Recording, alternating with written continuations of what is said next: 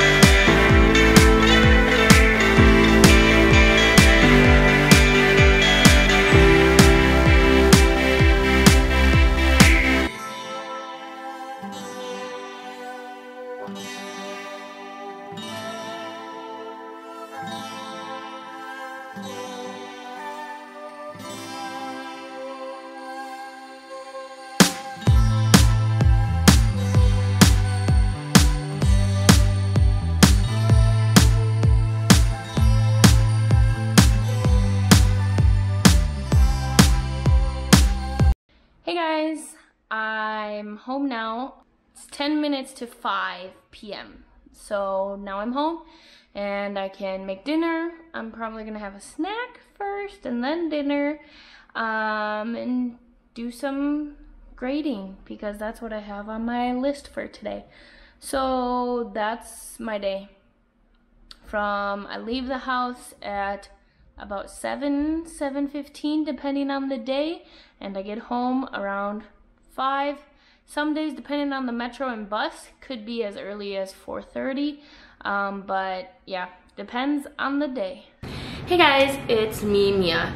I'm back here today to talk about finding a job in China and frequently asked questions about working in China.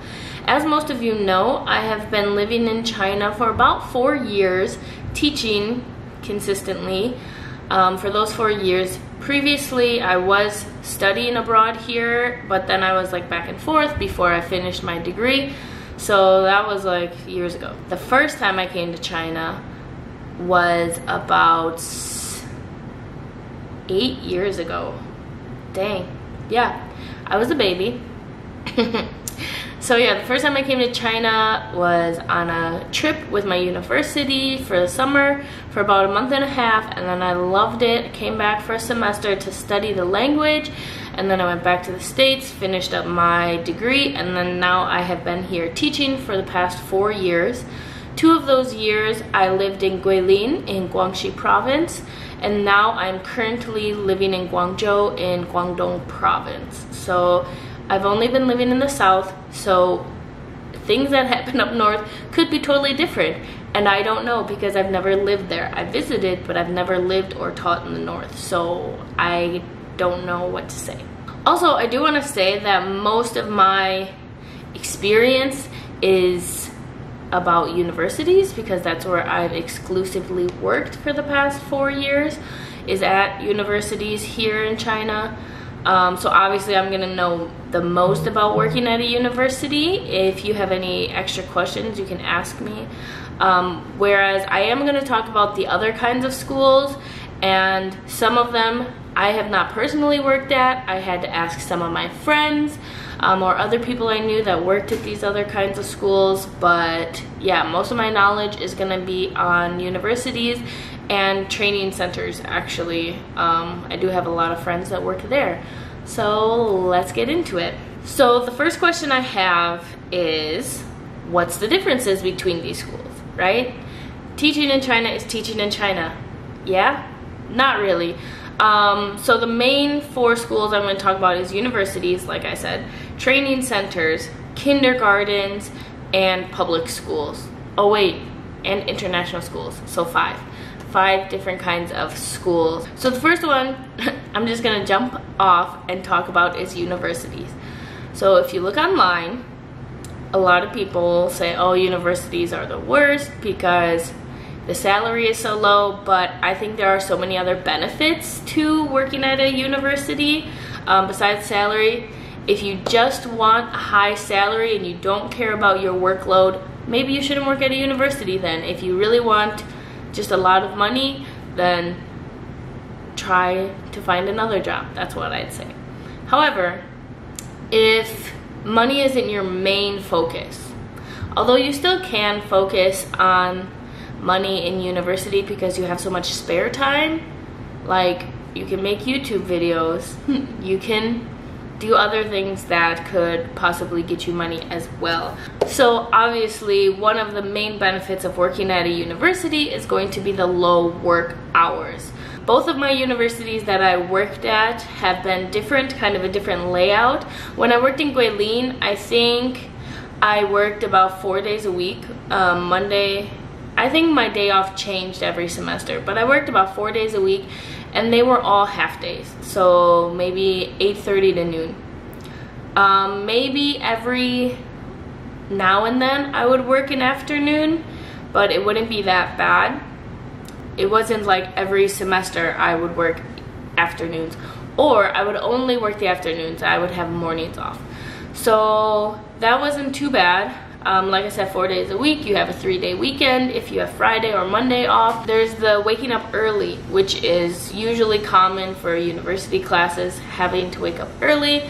Morning classes are typical. Anyway, so about the low hours with university, it's usually very low. I want to say both of my contracts have like a maximum of like 16 teaching hours a week, while both uh, places I worked at did not have office hours. So some of you might think freedom is good, other people freedom are bad is bad. Just to let you know that's something to expect. However, like I said, every university is going to be different. Even though I'm in Guangzhou, another university in Guangzhou might have a totally different schedule, totally different expectations and requirements. So I'm just telling you my experience, okay? The teachers who teach in the undergraduate department, they are much more structured. They have books for every class, they have a curriculum, and they have to discuss with each other if they share a course about the exam they want to give, and it has to be the same. So again, Everyone is different depending on your department, your university, everything. Another thing to expect at a university is they're going to provide you with an apartment, most likely, on campus. Um, this can be very helpful if you just want to walk to class. You don't have to wake up as early. You can go home during lunch break. It's very convenient. However, there are some negatives to living on campus. I didn't like always running into my students if I'm just running to the store for milk or something like that. Um, or the environment, again, is orientated towards young students. So there might not be as many resources. For example, my university here, there wasn't a good market nearby. There was a supermarket on campus, but it didn't have so many things in terms of fresh produce and stuff like that. So for us adults who were cooking, we had to walk a little way, a long way to the market and get what we needed. So I am happier living off campus. If you do live off campus, your university should provide you with a stipend. Obviously, it's gonna differ depending on your university, depending on where you live, the city, and so I would just say try to fight for as much rent money as you can. Before our stipend was lower and me and a lot of the other teachers, maybe there's only four of us, who live off campus, we fought with our department and eventually we got our rent money raised. So it was like getting a raise, whereas the people who live on campus, they didn't get more money for anything, but we got more rent money. Um, so that was very helpful. Keep in mind your rent money probably isn't going to cover your entire rent. If there's somewhere that covers your entire rent, the money they give you a month, congratulations. The only thing is if you live with other people, if you have roommates, sure you can find a good apartment that you can both pay for with the money that your university gives you. But if you are living alone, like one of my friends, he's an older guy, he wants to live alone, he has a dog, he doesn't want to live on campus. Um, obviously the money that our university gives is not going to fully cover it, but it can cover probably 75% of your rent. All you need to do is know where to go for a good apartment and be willing to travel. And again, weigh the pros and cons of living on campus and off campus. It's all up to you. Also, I wanted to say about on-campus housing, it can be terrible. Um, my university in Guilin, I loved living on campus. It was very convenient. There was everything nearby. All of the teachers lived on campus as well, so we were all next to each other. That was fun. My apartment was huge, big bedroom, big living room, two balconies, nice kitchen. Never did I feel cramped. Then when I saw the apartment here, uh, that's when I said, mm, maybe I don't want to live on campus. The kitchen was tiny, and if you know me, I love cooking, so that was a big no-no. And the bedroom was small. There was gonna be two of us living there, so I was like, ah, this is really cramped, really cramped and the bathroom was small too so that's why we ended up moving off campus in the first place and now we moved again. But again it's really up to you. If you think oh it's not bad i'm just gonna be here for a year i don't want to go and find a new apartment. A lot of people think it's hard to find new apartments or find an apartment in china and it is. Um, if you don't want to deal with that then live on campus. Um, obviously with the schedule you get weekends off. Do i need to even say that? No um, with time off, obviously we, we don't need to work any kind of weekend time or holiday time. What's great at universities is you have long winter and summer breaks um, because of everyone does. It's a holiday, right? You also get every holiday off. And some universities will even give you Christmas off. The place I work now will give us Christmas Day and the day after Christmas off, which I really wish it was Christmas Eve and Christmas Day, but beggars can be choosers. I'm happy I get two days off for Christmas no matter what day of the week they are. That's great. My old university did not do that. I had, I have gone to school on Christmas Day. Although, was it a more fun day? Sure. But I have taught on Christmas Day. Um, just keep that in mind. But during the winter and summer, you should get paid. It, um, summer will depend if you're renewing or not. But winter, for example, let's say classes go until mid-January and then they don't start up until March 1st, which depends on Chinese New Year, but that has happened where I haven't worked a day in February, but I will still get my salary in February for February, just like as if I worked. So that's a big bonus working at a university. They will give you money no matter what. Um, and then if you renew the contract, usually we don't work a day in August yet we will get a salary for August if you are renewing if that's during your break if you stop working there like when I moved jobs I stopped working and then I didn't get an August salary and that was actually really hard for me that summer. All right, let's talk about the cons of working at a university. Number one, you can have very large class sizes. I've had classes up to 60 students for speaking and listening. How can I teach speaking and listening class to 60 students in an hour and a half? How can I monitor their level, make sure they're improving, even know their name? I find that difficult. Again, it depends on the course usually, your university, blah, blah, blah. I've had smaller classes, like 20, so it really just depends, I think, on the university and that certain semester. Number two of cons, you might have some on-campus events. So for example, English Corner. At my old university, we had English Corner. I think you probably did it every three weeks or so, not every week. However, we would get an extra payment just for going to English Corner. So even though we had to do it, we had no choice, but they would give us extra money. Now we did English Corner this semester. I didn't have to do it, but other teachers did it. They didn't get extra money for it, but they did have to do it. So it depends on your university.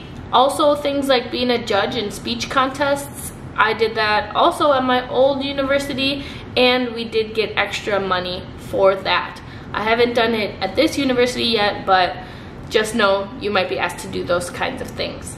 Another con, it can be both. So with your students, you're probably not going to get all students who love English and just want to learn so much from you because you're such a smart foreigner. No.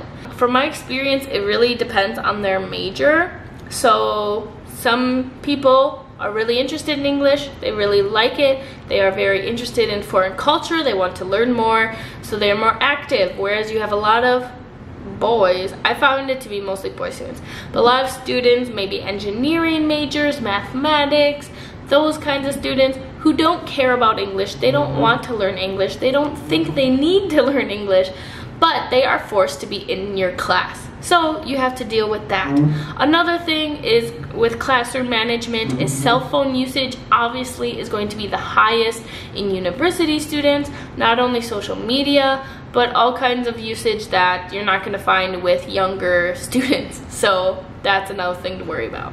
Now for the salary. You have to keep in mind what city you're going to because smaller cities are going to be on the lower end, bigger cities are going to be on the higher end, okay? So for the lowish end for a university, I would say about 8,000 a month. This is without anything, rent money, any extra money they might give you.